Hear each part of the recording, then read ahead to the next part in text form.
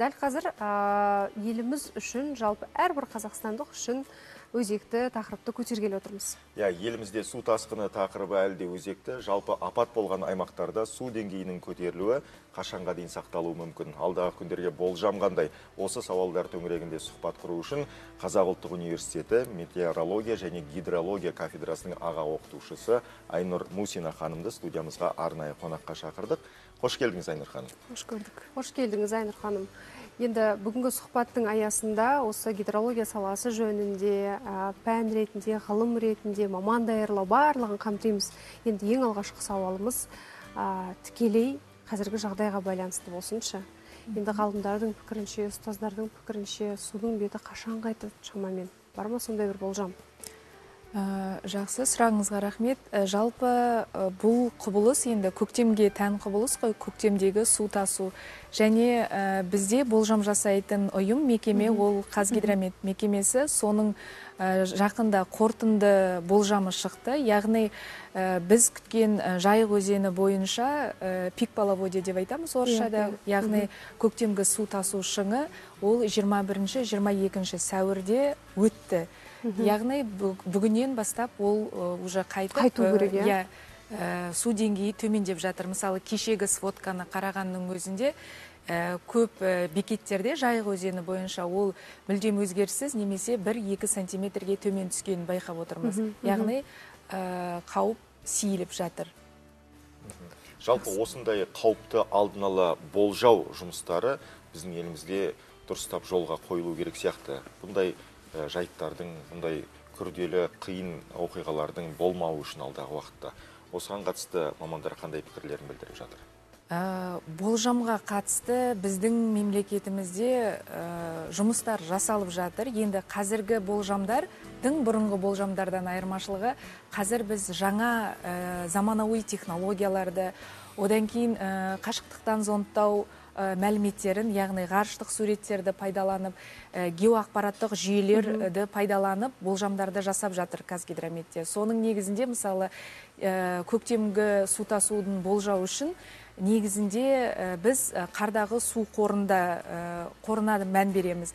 Оны бұрын өлшеу жұмыстары енді өте қиын қар өлшеу жұмыстары және де бір, бір уақытта түгелдей аумақты қамтуы да енді қиын. Тем более біздің мемлекетіміздің аумағы өте үлкен болғандықтан. Ал қазіргі кезде осы қазгидрометте қашықтықтан зондтау яғни ғарыштық суреттерді өңдеу нәтижесінде қардағы су қорын жалпы қардың биіктігі қар жауып жатқан аумақтарды біліп отыр. Сондықтан да және де тағы бір айта кететін жайт осы биылғы қазгидрометтің берген болжамы ол көп өзендер бойынша ақталды деп айтсақ болады. Яғни осы болжам саласындағы ғарыштық суреттер болсын ақпараттық жүйелер болсын оңтайлы қолданыс тапқандығының дәлелі деп білеміз. Түсінікті.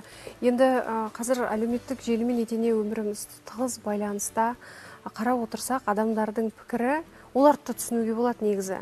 Мынадай алапат суды көргенде ол білмеймін көршілес елдерден келді ма бұл қайдан келген су деп жатқан бір нұсқа болды. Енді мамандардың нұсқасы бойынша жаңағы наурыз айында күрт бір күндері күн жылынып қар тез еріп қардың көп түсуі жаңбыр суы бар оған қосылған иә көктемгі.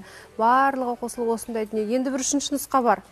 Солтүстік мұзды мұхитында біз көрдік қой жаңағы видеоны иә көрермен қауымды тамашалаған шығар үлкен бір мұздықтар құлап осындай еріп жатқан. Сол бүкіл әлемдік климат өзгеріп жатыр ма дейді.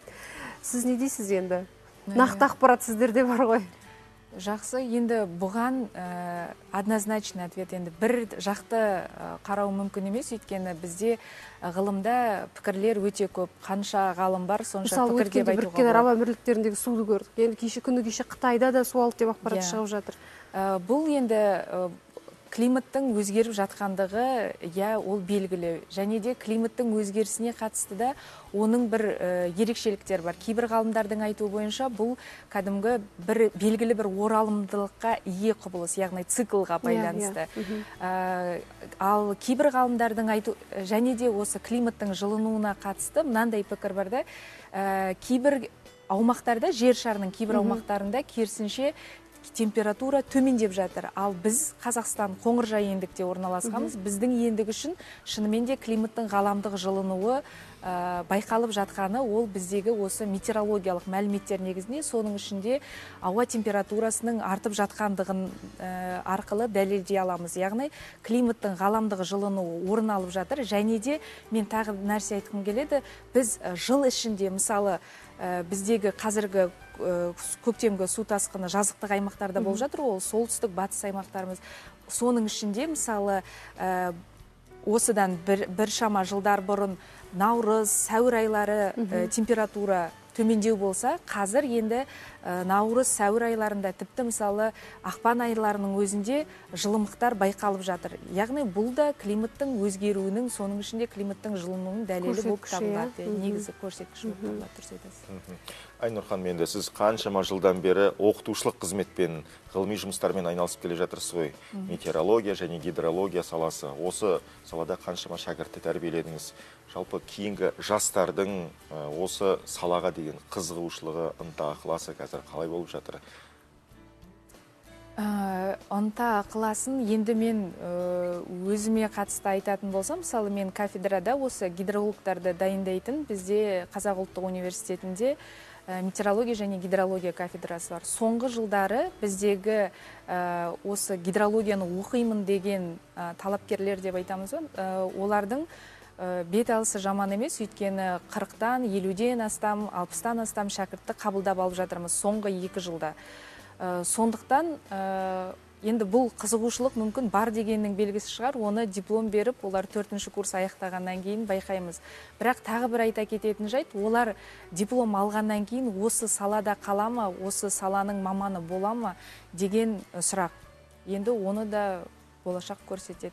Өткенде ә, ковидтің кезінде инфекционисттер керек болып жұқпалы аурулардың ә, мән маңызын бүге шүгесіне дейін білетін мамандар қажет болып жаппай сол факультеттерге грант бөлініп шулап едік қой.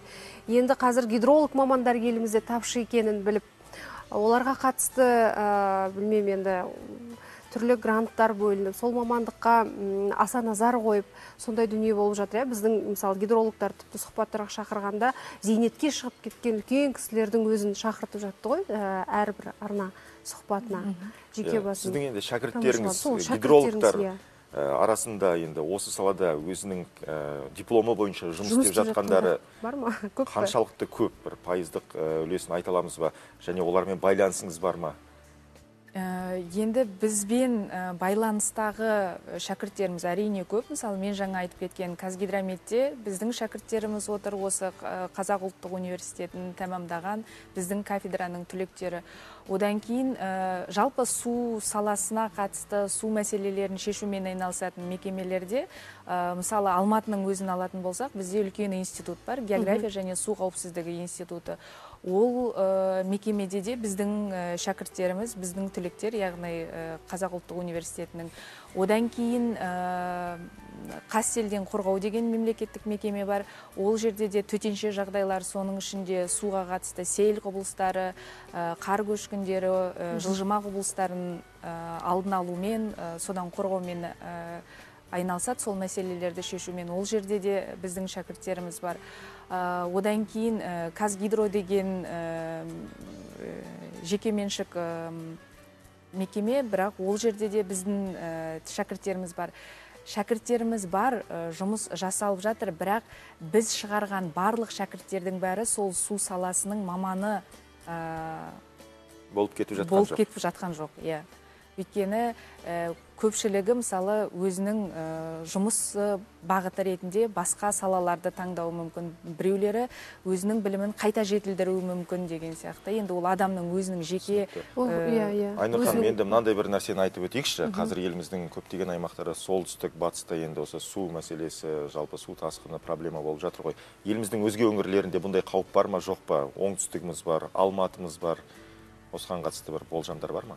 Ә, оған қатысты айтатын болсақ негізі су бар жерде қауіп бар. Ол қауіптің екі ұшы мысалы су аз болса да қауіпті су көп болса да қауіпті. Енді бізде сулы ә, өзендерге немесе көлдерге жақын аумақтарда қауіп үнемі болады. Бірақ сол үшін одан қорғану жолдарын қарастыру керек. Және де осындай ә, дұрыс болжамдарға уақытылы ә, реагировать етуге ә, үйренуіміз керек.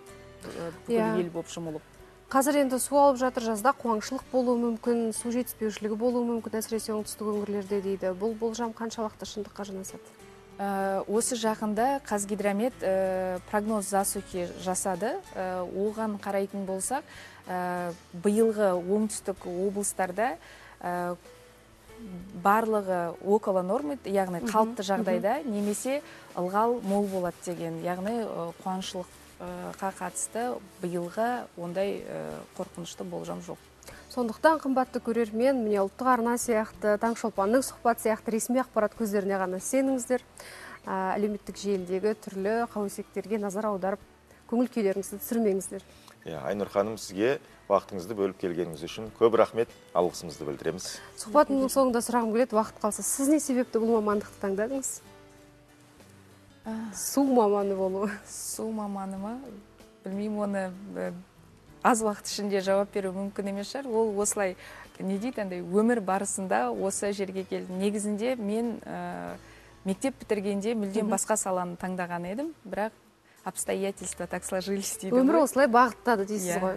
Өте керекті мамандық Сәттілік ғалым болам деген мақсатыңыз болған екен әу баста. Академик атансам деген жоспарыңыз бар екен мақсатыңыз бар екен. Сол мақсатыңызға жетуіңізге біз тілектестігімізді білдіреміз. Қымбатты көрермен студиямызда қонақта болған әл фараби атындағы қазақ ұлттық университеті метеорология және гидрология кафедрасының аға оқытушысы айнұр мусина.